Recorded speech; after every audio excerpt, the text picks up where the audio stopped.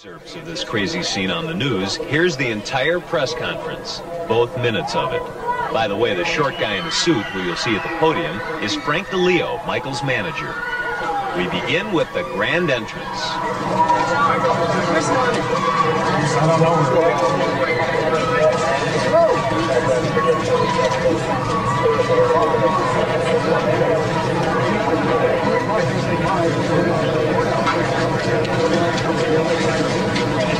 in front!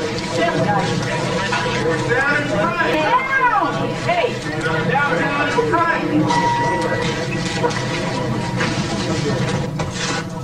afternoon. We thank you all for coming this morning. As you know, we have all the Jacksons here, Randy, Tito, Marlon, and uh, Michael.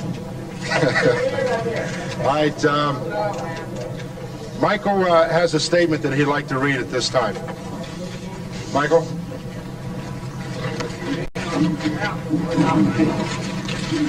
Have silence for a minute, please?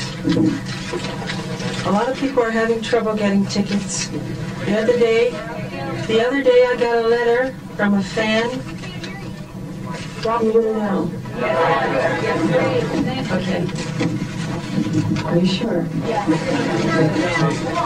A lot of people are having trouble getting tickets. The other day I got a letter from a fan in Texas named LaDonna Jones. She'd been saving her money from odd jobs to buy tickets. But with the turn tour system, she'd have to buy four tickets. And she couldn't afford that. So we've asked our promoter to work out a new way of distributing tickets, a way that no longer require a money order. I've asked our promoter to end the mail order ticket system as soon as possible so that no one will pay money unless they get a ticket. Finally, and most importantly, there's something else I am going to announce today. I want you to know that I've decided to donate all my money I make from the performance to charity. There will be further press statements released in the next two weeks. Thank you very much. What charity? What charity will you donate to?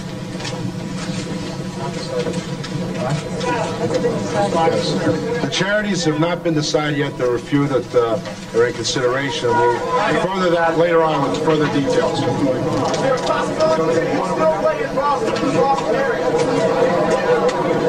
Uh, I doubt very much if we're playing the Boston area. In a moment, in a few moments here, I will be uh, giving out the rest of the tour dates. If you hold patient, you hold...